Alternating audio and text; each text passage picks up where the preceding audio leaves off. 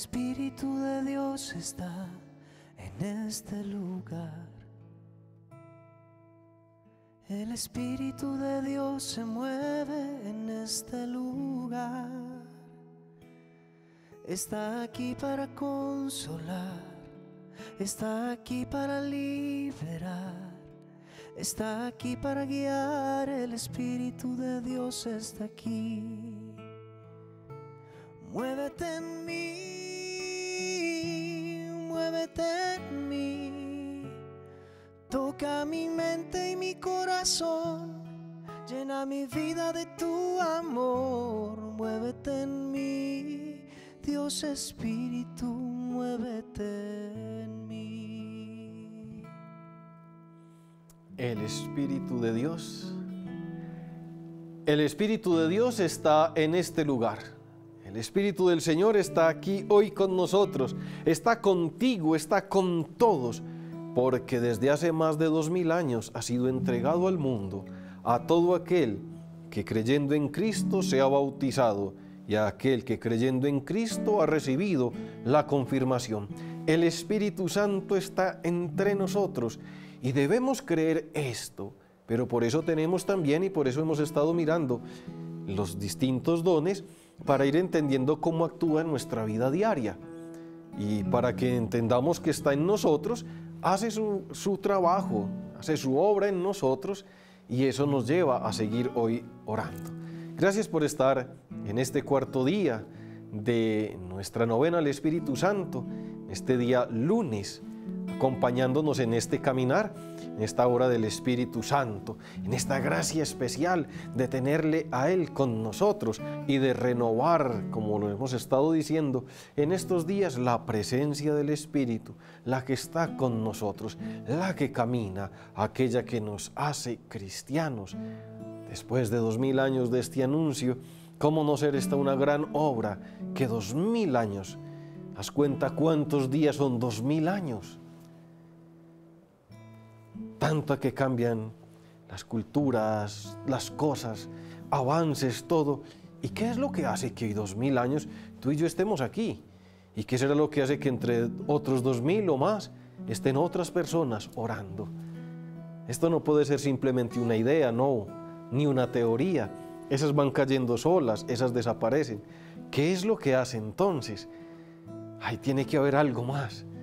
Y ese algo más es el que tú y yo estamos hoy renovando en nuestro, interior.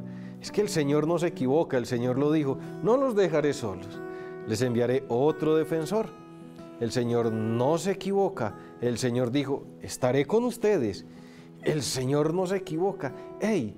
El Espíritu Santo tomará de lo mío y lo entregará. Nos está entregando hoy ese don de la fe y de creer en Él. Dos mil años después qué grandeza estar con Él. Entonces nos reunimos en el nombre del Padre y del Hijo y del Espíritu Santo. Amén. Y hacemos nuestra oración. Oh Dios, que por tu Hijo nuestro Señor Jesucristo prometiste enviarnos al Espíritu Paráclito, el Espíritu de la verdad, para inflamar nuestros corazones y por medio de su gracia volvernos hijos tuyos en Cristo Jesús te rogamos derrame sobre nosotros los dones de tu Espíritu para desear y hacer siempre tu voluntad y perseverar en la fe con caridad y verdad, con tal de gozar todos los días eternamente de tu presencia. Amén. Vamos a estar entonces como lo estamos haciendo, no solo cerrando nuestros ojos, sino saliendo del corazón. La oración Espíritu Santo. Ven, Espíritu Santo, llena los corazones de tus fieles y enciende en ellos el fuego de tu amor.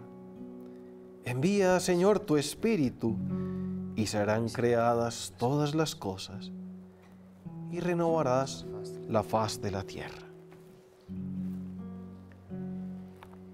Este cuarto día, lunes, te invito a que reflexionemos sobre el don de la fortaleza. ¡Wow! Es a mi modo es también uno de los que a mí más me, me llena la atención y pido al Señor siempre que me dé este don. Por este don el alma se fortalece ante el miedo natural y soporta hasta el final el desempeño de una obligación.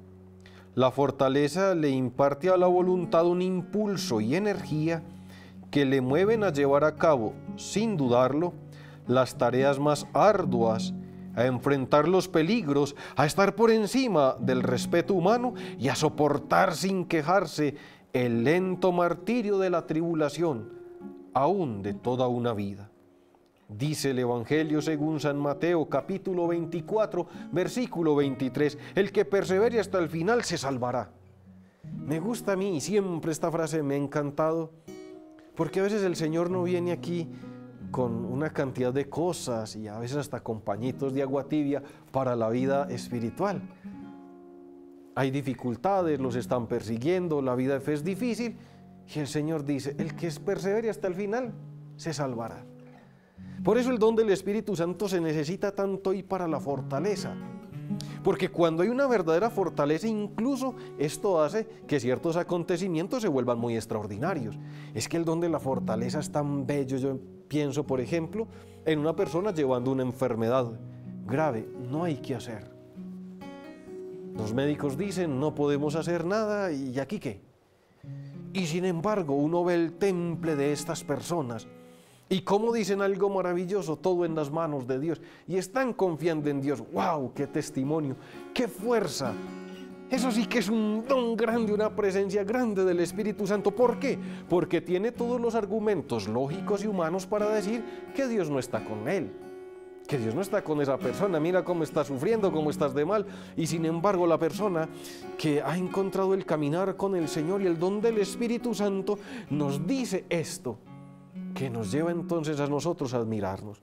¿Cuántas veces no nos admiramos de ver a otras personas, incluso que les falta alguna extremidad de su cuerpo, con tantas cosas, y cómo van caminando en su vida, y cómo van dando un testimonio que uno dice, wow, magnífico. Pero más aún, pienso en las dificultades de la vida, a veces uno quedarse sin trabajo, sufrimientos.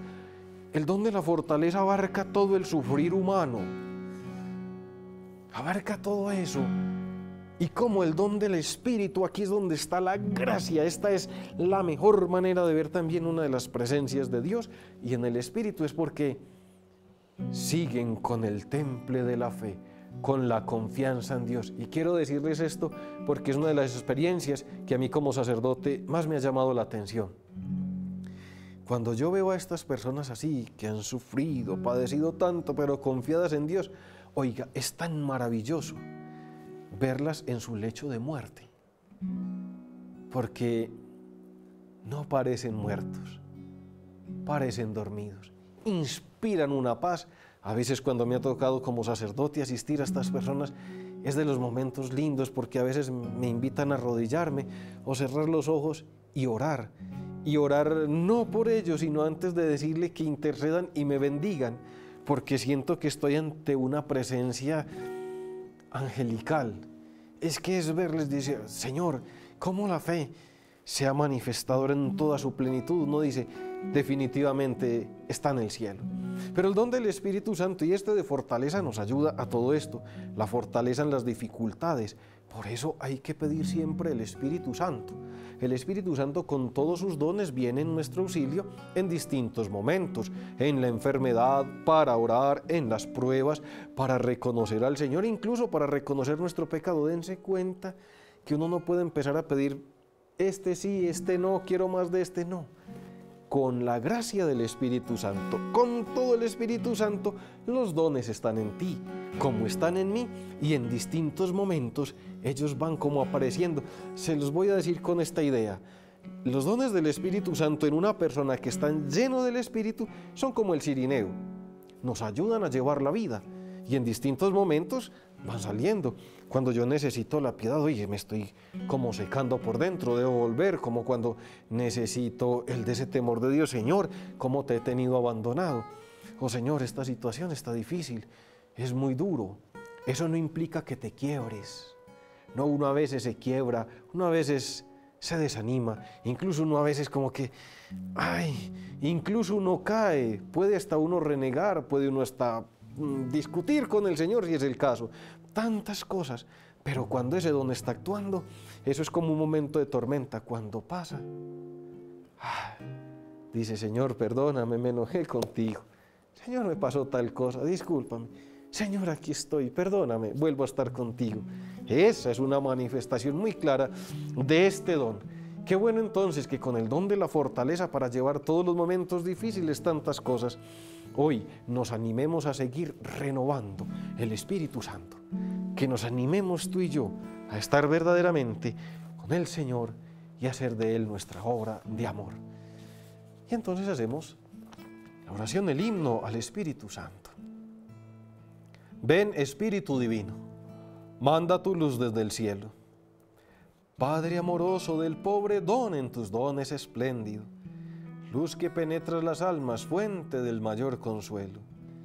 Ven, dulce huésped del alma, descanso de nuestro esfuerzo, tregua en el duro trabajo, brisa en las horas de fuego, gozo que enjugas las lágrimas y reconforta en los duelos. Entra hasta el fondo del alma de divina luz y enriquecenos. Mira el vacío del hombre si tú le faltas por dentro. Mira el poder del pecado cuando no envías tu aliento. Riega la tierra en sequía, sana el corazón enfermo. Lava las manchas, infunde calor de vida en el hielo Toma al espíritu indómito, guía al que tuerce el sendero. Reparte tus siete dones según la fe de tus siervos. Por tu bondad y tu gracia, déle el esfuerzo su mérito. Salva al que busca salvarse y danos tu gozo eterno.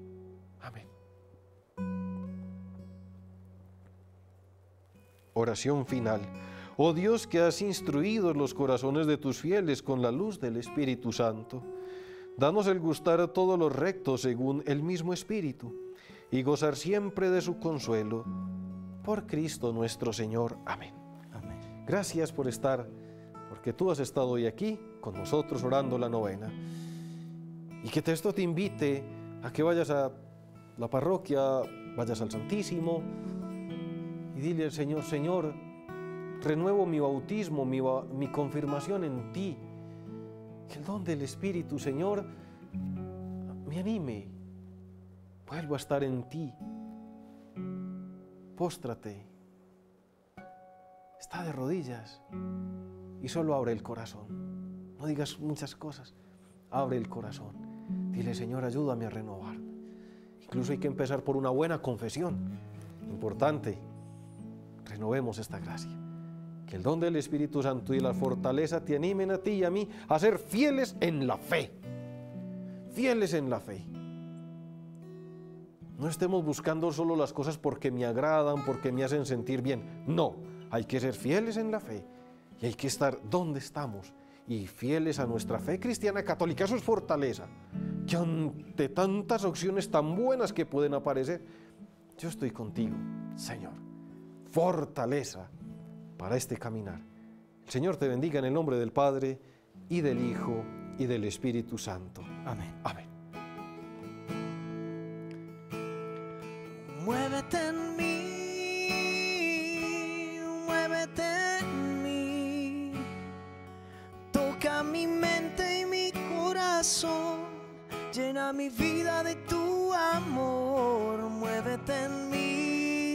Dios Espíritu, muévete muévete en mí,